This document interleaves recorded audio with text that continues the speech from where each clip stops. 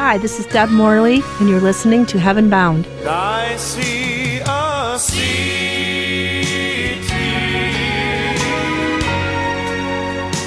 I see my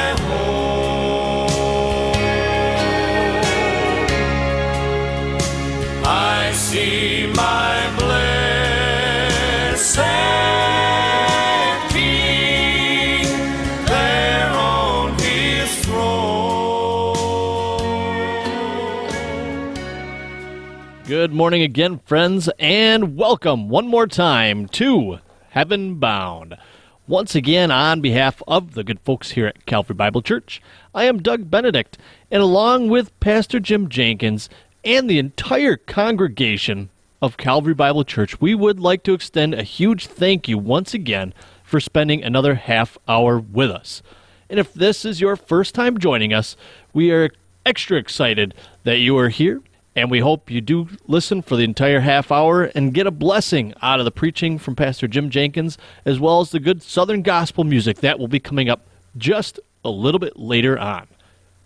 But before that, we'll give you just a little history of the church. We are a small congregation located in Greig, New York. We are on Sweeney Road. The address here is 6968 Sweeney Road in Greig, New York. So you can put that into your GPS and come join us today. Times with being the second Sunday of the month, we will begin this morning at 9 o'clock with our fellowship breakfast. And as always, everyone is invited to attend. You don't have to bring anything, just bring a willingness to visit with people and an appetite because there's always great food here. So that'll be about half an hour. Then we start Sunday school at 9:30. And Sunday school we do break up into smaller groups.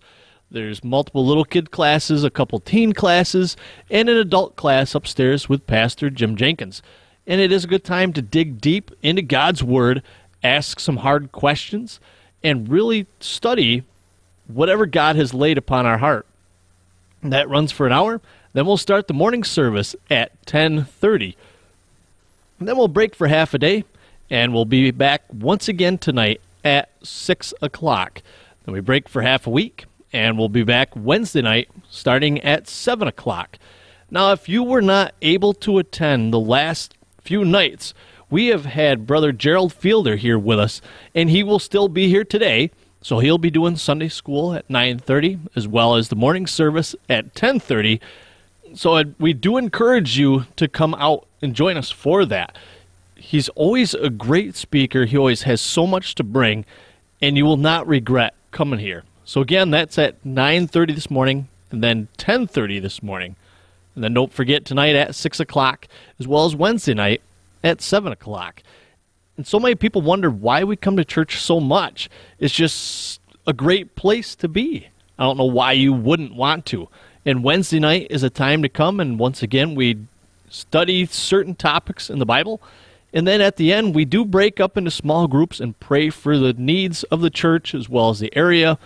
And whatever people have, whatever burdens you have, you can bring them up to the whole congregation, and we will all pray for them. If you do not have a GPS and you want to follow the simple, easy directions, get a piece of paper because there they come. We are located right between Lowville and Boonville.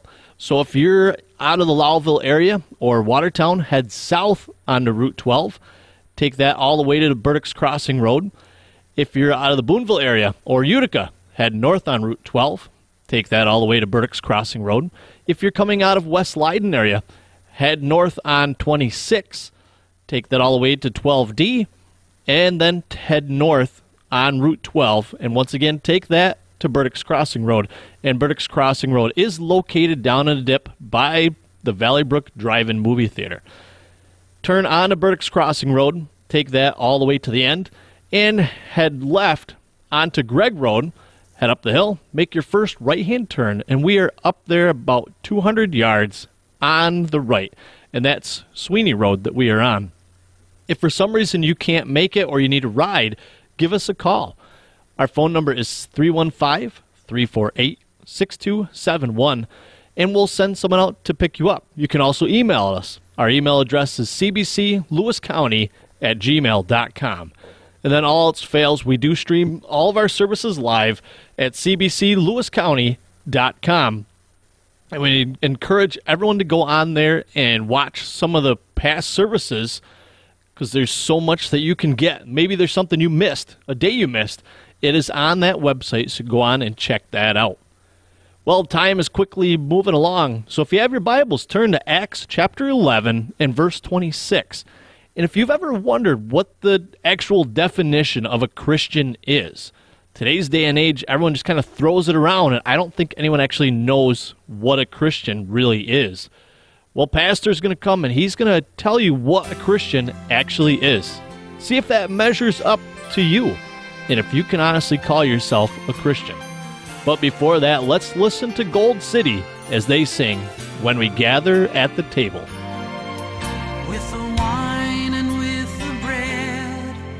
I recall the blood you shed and your body sacrificed for everyone. But also in my mind are pictures of a time and a special moment still to come.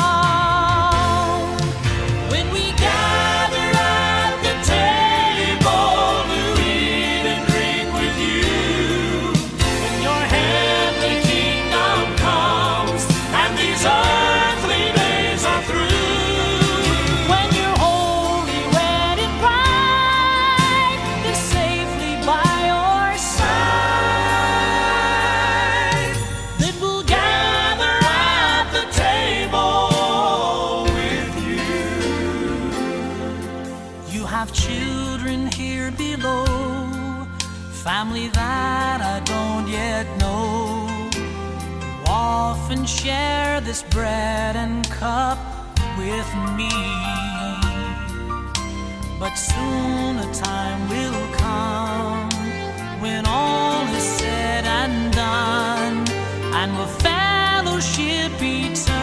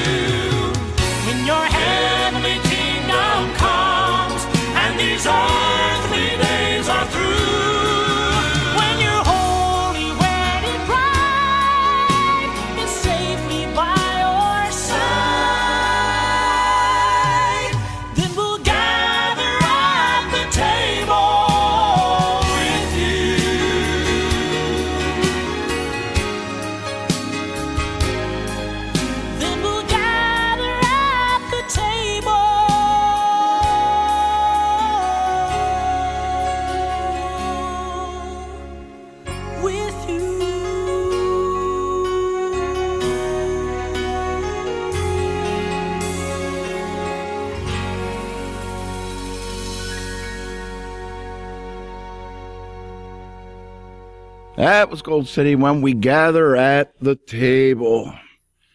One day we're going to sit down with God, with the Lord Christ, in His kingdom.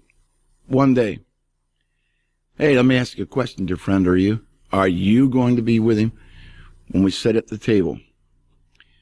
When we gather at the table to eat and drink with you? When your heavenly work on earth is done? And your work on earth is through? With your holy wedded bride safely by your side when we gather at a table with you. My question is, are you going to do that? There is coming a day.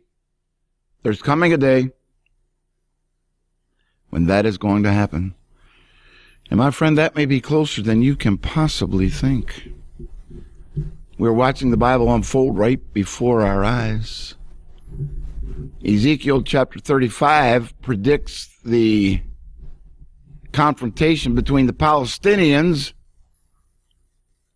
and the Israeli people. Ezekiel 38 talks about a confederation of Syria and Iran and Iraq and Russia. Oh, it's happening even now. Jesus is coming. He may come sooner than you may think, friend. He may come this week. He could come today. In Acts chapter 11 and about verse 26, and we had found him. Was talking about Barnabas. Barnabas had went to look for Saul, who we now know to be Paul, the apostle Paul. Then departed Barnabas to Tarsus for to seek Saul. And when he had found him, he brought him into Antioch.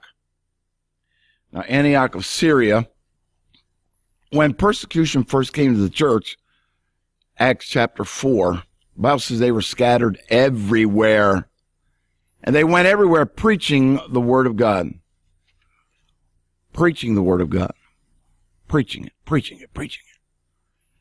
And the church somewhat dispersed and the, center of the church went from Jerusalem. Now, there was still a church at Jerusalem, but the church hub, church activity went from Jerusalem to Antioch. And so Barnabas went and looked for Saul, found him. Uh, I believe the Bible says that they were there for a long time. I believe a couple years after that. But it says and he brought him unto Antioch. And it came to pass that a whole year, there we go, sorry, they assembled themselves with a church and taught much people. And the disciples were called Christians first at Antioch. They were called Christians first. I'll go back to my original question. The original question was, are you going to sit and be in the kingdom of God? Kingdom rule me. If you live in a kingdom, that means somebody is ruling. There's coming a day when Christ is going to rule and reign from Jerusalem. In our, in our reading today from the book of Acts, as I said a few moments ago, the church center, the, the center of the church activity had moved from Jerusalem, where there was a great deal of persecution, to the city of Antioch, to the north. There, the disciples sent out Paul and Barnabas on the missionary trip, and there, there was a great controversy over keeping the law, and they sent back word to Jerusalem. But there's something rather unique about the church at Antioch. There was Bible preaching, Bible teaching going on. That was not unique. They were assembling themselves together. Now, we find that to be unique in this day. My friend, you realize that most churches, I'm talking most churches in our area, had Sunday morning, Wednesday night, they had prayer meeting night, which is Wednesday night, they had Sunday night service. Most churches don't have that anymore. Say, well, why is that, preacher? Because they can't get anybody to come.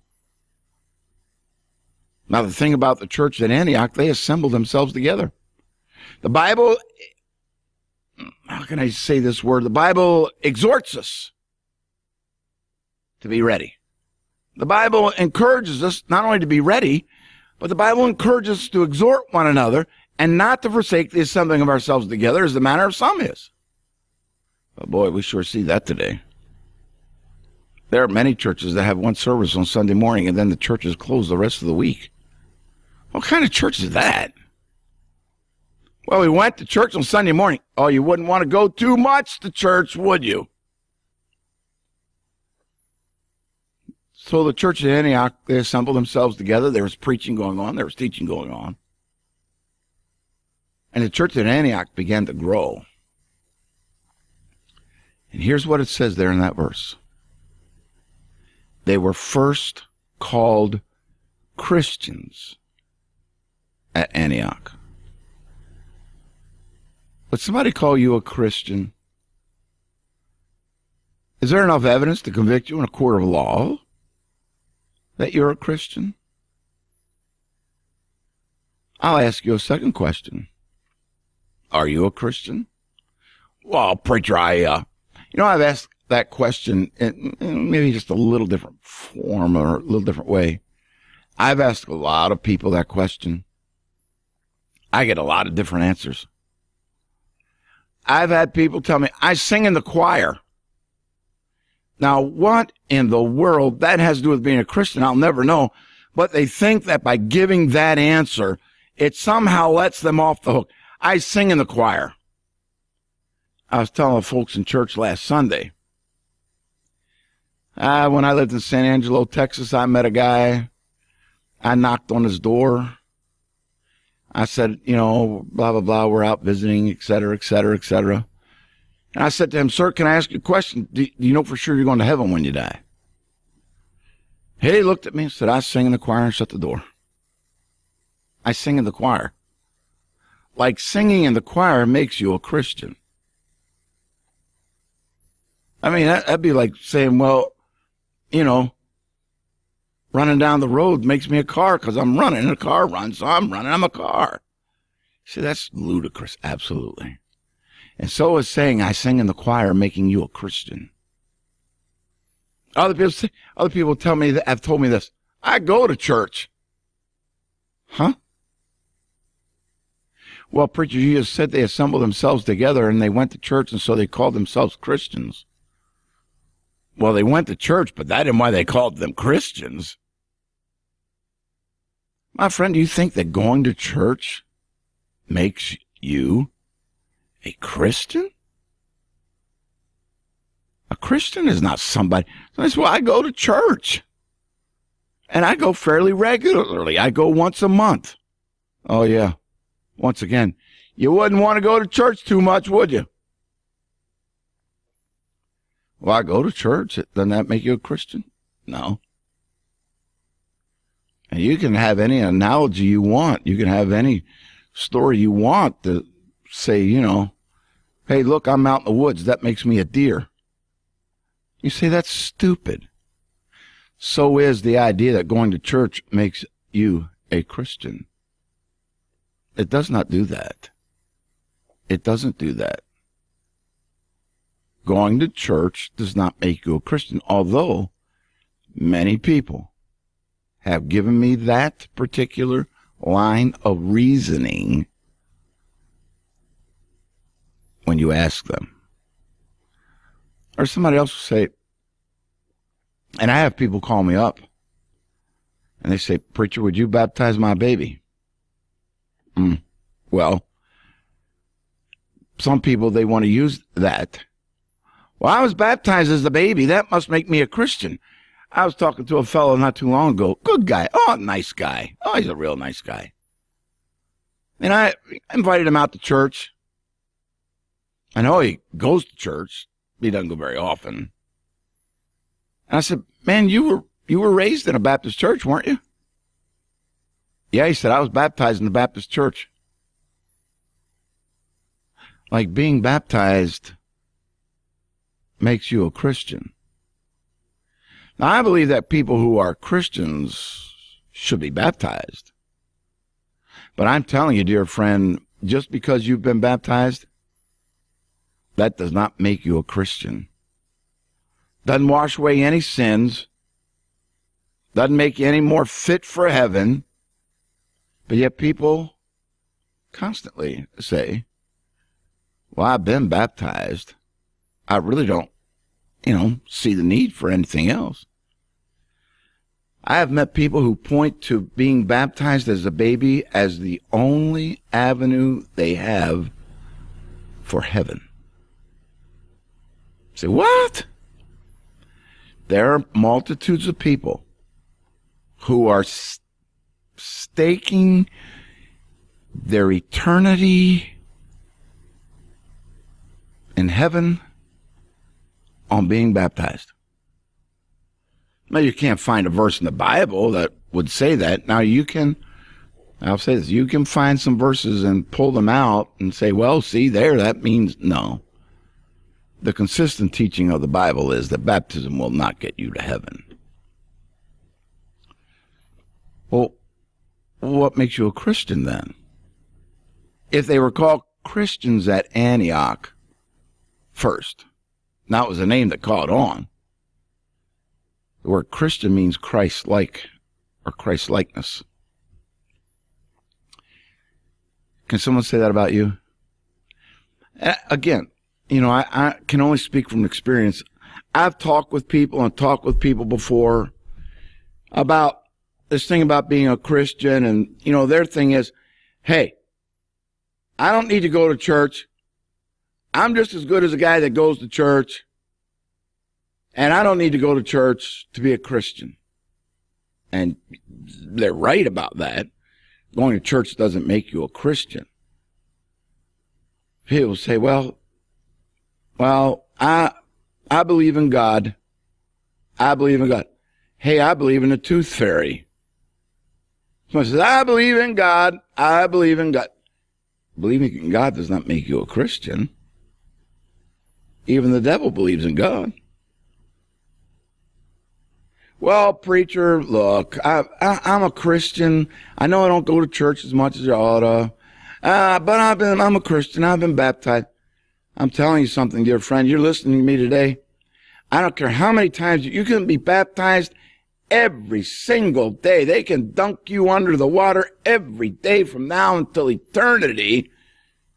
And that ain't gonna make you a Christian. Or if you go to church every day from now until the time you die, that doesn't make you a Christian. No. They were called Christians first at Antioch. Well, are you going to tell us what a Christian is, or are you just going to beat around the bush all day and tell us what it isn't? Well, hang on. You say, what is a Christian preacher? If that's what they were called in Antioch first, what is a Christian? What is one?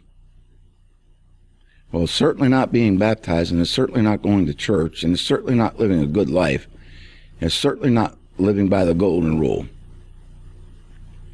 Everybody that is a Christian ought to do those things. But that doesn't make you a Christian. Well, why were those people in Antioch so special? And the word hung on. The word stuck. The term Christian. It was actually a term of derision. Ah, those guys are followers of Christ. You know, the guy that was crucified over there in Jerusalem and they buried him. And then there's this wild story that after three days he arose from the dead and the Christians follow him. Some story like that. Hey, what made the people in Antioch Christian? Followers of Christ. Christ-like. The Bible says a lot of things about how to become a Christian. But the consensus, the one general, the one guiding, the one definitive principle is this. To be called a Christian, one, first, you, you have to be saved. You must be saved. Jesus in the emphatic said, ye must be born again. You must be redeemed. You must be regenerated. You must have a changed life. Now, once that happens, you say, well, I have decided to follow Jesus. No turning back. No turning back. A disciple is a follower of Christ. You cannot be a follower until you've been, until you've been born again, until you've been saved. Why would you want to follow him if you're not? But they were called Christians because they were followers of Christ and Christ like. When you met one of them, you would say, Boy, there's something different about that person. Hey, could anybody say that about you? Would anybody say that about you? Or do they say, ah, they're just another hypocrite? People say, I don't want to go to church that's full of hypocrites. Well, come on down. We got room for one more, pal. They were Christians at Antioch. Would anybody confuse you with being a Christian? People say, I don't need to go to church. I'm just as good as people that go down to church. Man, them people go to church, they're a bunch of hypocrites, and they do all kinds of things wrong. Friend, I never said I was perfect, but I am forgiven, and Christians are forgiven. Would anybody confuse you with being a Christian? Would, could anybody say, now there's somebody that is different and is following Christ? Could they point to you, to you and say that? Well, not really. Yeah, but I just think I'm good enough and I, I've been baptized and I'm going, that will not make you, and that will not do, dear friend. Listen, listen. Those excuses and those ideas about, man, I go to church, I've been baptized, I live a good life, I live by the golden rule, I keep the Ten Commandments. Well, number one, that's not true, and you know it's not true. People come up with those ideas, those excuses, those qualifications. That don't make you a Christian. A Christian is someone who has realized their need of Christ and has trusted Him and has decided to follow Jesus. I have decided to follow Jesus. No turning back. No turning back. A Christian at Antioch was a term of derision to those who were followers. A follower of Christ. I go to church, preacher. You haven't heard a word I said. Going to church does not make you a Christian but being a follower of Christ. Are you saying then, preacher, you don't really have to go to church to be a Christian? Well, I, I will say that. But I'm going to tell you this I wouldn't give you much for your religion to get you to heaven if it can't even get you to church. They were first called Christians at Antioch, followers of Christ. If they hauled you in to a court of law, would they be able to convict you? People hold on to that baptism. I'm, I met so many people, and it after a while it gets disgusting. After a while, people just hold on to that baptism thing. Man, I've been baptized. So what? Doesn't make you a Christian. But being a follower of Christ will. Trusting Him as your Savior, and then forsaking, forsaking all others. One of the dear ladies in our church said that she witnessed to a friend, and that friend said, I could never live like you. I'm not sure what that's supposed to mean, but when you are when you trust Christ, He'll give you the withal to live that life. Paul said in Galatians 2:20, "The life which I now live, I live by the faith of the Son of God, who loved me and gave Himself for me." Are you a genuine Christian? or are you one in name only? Friend, have you trusted him and then decided to follow him? No turning back. No man having put his hand to the plow and looketh back is fit for the kingdom of God. I'm not looking back. I'm not looking back. Are you a Christian? Are you saved? Have you been born again? Has your life been changed? Are you on your way to heaven? Are you going to sit down with me and Doug and people in the kingdom of God when we eat and drink anew? My friend, trust Jesus today. Call upon him today. Ask him to be your Savior today. Decide to follow him today. Because I'm telling you, tomorrow just might be too late. Friend, do you think you actually are a Christian? We don't say that to be insulting, but are you actually living the life that is Christ honoring and you are following Christ? And do you know for sure that you have a home in heaven waiting for you when your time on earth comes to an end? If you have any questions today, or if you would like to know more about how you can know for sure that you are going to heaven when you die, give us a call today. Our phone number here is 315 348 6271, or send us an email. Our email address is cbclewiscounty at gmail.com. Or even better yet, why don't you come join us today? There's an empty place in a pew that can only be filled by you. Thank you again for joining us this half hour. Lord willing, we will catch you again next week on Heaven Bound.